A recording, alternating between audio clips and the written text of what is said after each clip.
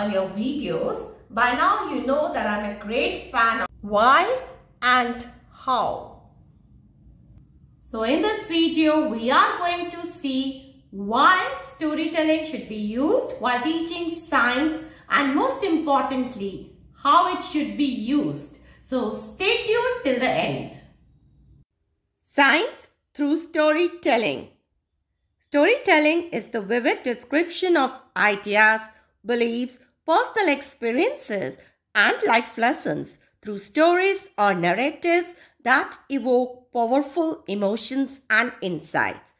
You must have observed CBSE, that Central Board for Secondary Education in India, recently has organized a number of seminars on storytelling as pedagogy. As rightly said by CBSE Director Dr. Vishwajit Saha, if we want to fuel the power of imagination and creativity, if we want to develop higher order thinking skills in students and retain learning for longer time, by linking it to human emotions, we must use storytelling as a pedagogy and a lot of recent research has shown that stories remain longer in the memory. Why should we use storytelling? Let's see. To grab the attention of students, to build curiosity, to help remember things better, to make your lesson engaging, and to put complex ideas in simple ways. There are four P's of storytelling. The first one is plot. That's a situation, problem or dilemma. Let's take an example. Spread of dengue during monsoon season.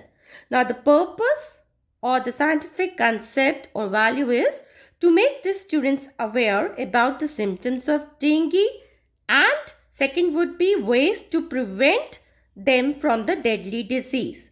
Now people character, uh, this is the third P you can decide on uh, the characters of your story to whom the audience can relate. For example, in the story I have framed, I have used the famous cartoon character Noddy.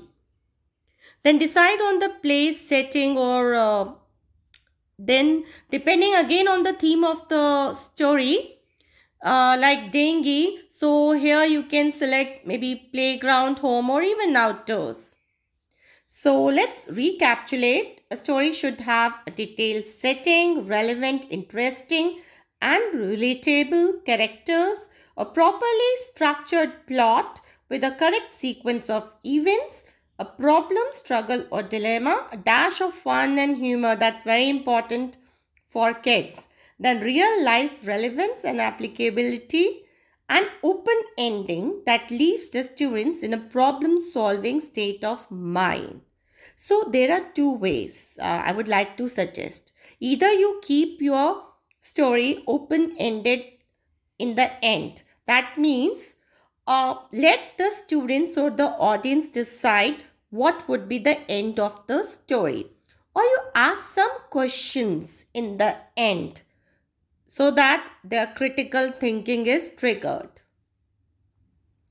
You can use storytelling in science by either telling the stories of the real scientists. For example, you can tell the story of Archimedes uh, who's taking bath in his bathtub watching water being splashed out or Newton sitting under an apple tree watching the apples falling one by one you can use uh, interesting props.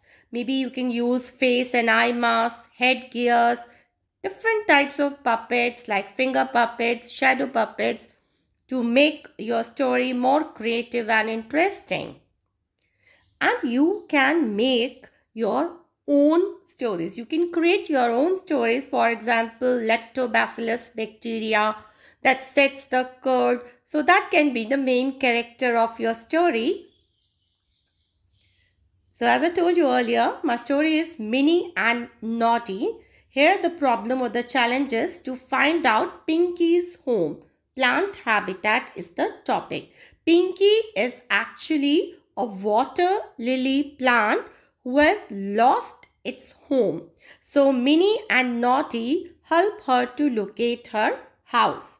Learning outcomes are to list various habitats of plants, to identify the specific features of plants belonging to a particular habitat. That means plants of hills or plants of deserts. In the story, we are talking about the characteristics or features of different plants of habitats.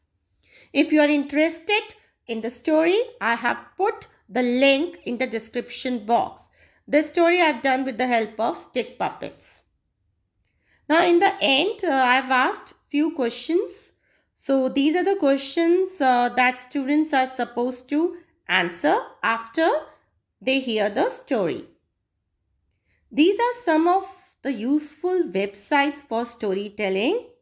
They are free of cost. You can use them to frame or develop your own stories and especially Bodha Guru is my favorite because they have a lot of stories related to science and to Indian context. Thank you for watching and that's all for this video.